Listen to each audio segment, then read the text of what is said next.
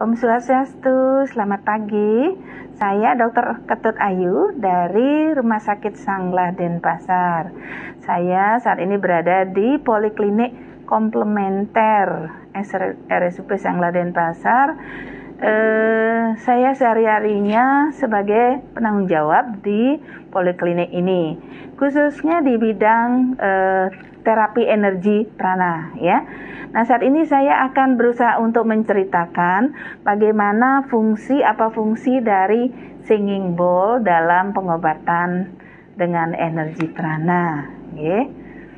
Untuk itu uh, saya akan uh, memulai dengan cerita tentang singing bowl. Ini adalah singing bowl yang sebetulnya di pengobatan prana di awalnya itu eh, kita bisa lihat di sini ya, di dalam singing bowl itu ada lambang Om ya, ada lambang Om. Jadi singing bowl ini berfungsi untuk meningkatkan vibrasi uh, Om ya. Nah saat uh, singing bowl ini di, dibunyikan, uh, ada pemutaran dengan palu, itu akan menyuarakan suara Om. Jadi vibrasi akan vibrasi energi akan sangat kuat ya. Terutama bisa kita gunakan baik di dalam ruangan maupun di, di luar ruangan. Artinya di suatu tempat yang luas. Nah apakah fungsi suara om itu, fungsi suara om yang dikeluarkan oleh singing bowl inilah yang akan membersihkan tempat itu, baik itu dalam bentuk ruangan terbuka maupun ruangan tertutup ya. Dan banyak juga eh, baik kita dewasa maupun anak-anak kalau mendengarkan suara om ini akan mendapatkan kenyamanan yang luar biasa. Dan anak-anak yang sulit tidur biasanya dengan energi vibrasi energi om yang kuat anak-anak akan tidur dengan nyenyak. Kalau di pengobatan prana ini berfungsi untuk membersihkan jenis-jenis kristal yang bentuknya uh, seperti yang dipakai pengobatan adalah bentuk cincin ya.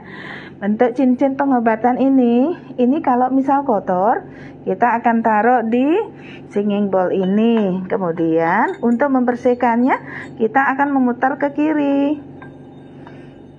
Mutar ke kiri.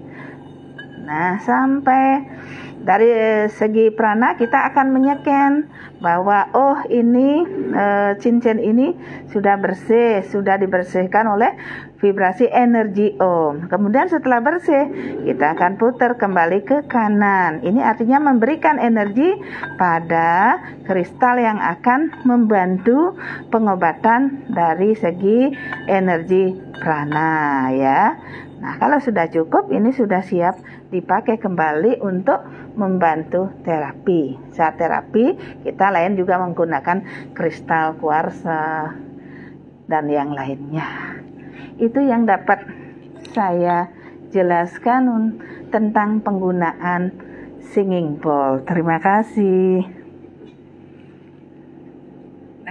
Uh, Bu Dokter, ini sedikit ada pertanyaan terkait dengan singing bowl ini.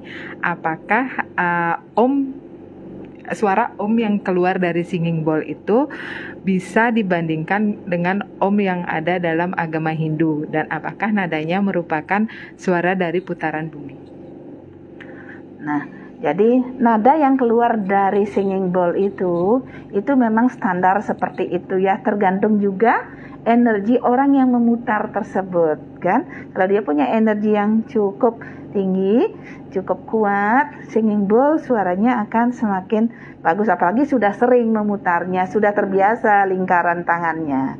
Nah bedanya dengan uh, uh, yang ditanyakan tadi dari agama Hindu itu juga tergantung siapakah yang melantunkan suara om tersebut. Misal, yang melantunkan adalah ide prande, itu justru beliau punya energi yang cukup kuat, otomatis vibrasi energinya sangat tinggi. Nah, lain dengan orang yang biasa pekerja keras di kampung, uh, istilahnya uh, di sawah dan sebagainya uh, sangat uh, kelupaan sering untuk sembahyangnya dan sebagainya otomatis energinya pastinya lah berbeda dengan yang ide pranda yang selalu seperti ini yang betul-betul menguasai ilmu spiritual. Kalau Bapak Ibu yang biasa di kampung kan kalau pas rainan gitu baru mungkin ingat-ingat uh, lupa-lupa ingat lah tuh ininya jelas pasti ada beda. Ada pertanyaan lain?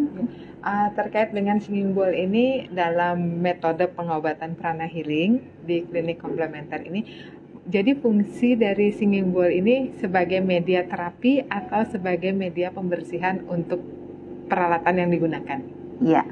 Yang tepatnya adalah media pembersihan alat-alat yang membantu dalam terapi, ya. Kalau penterapian beda nanti itu. Uh, selain itu, uh, selain untuk alat-alat yang digunakan sebagai media pengobatan, fungsi lain singing bowl itu bisa membersihkan apa saja, Bu Dokter? Ya. Jadi pada saat singing bowl dibunyikan, jadi dia seperti bernyanyi om.